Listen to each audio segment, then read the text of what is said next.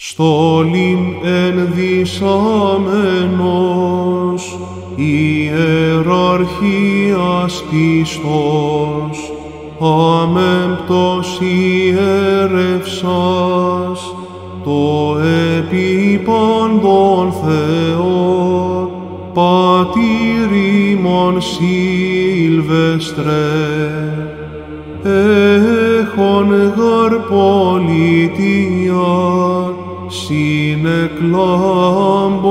τα λόγων, θαύμα συνεβεβαίους, ευσεβία στην δόξαν, δις ουρανίου δόξης, όφθης σημαίνει,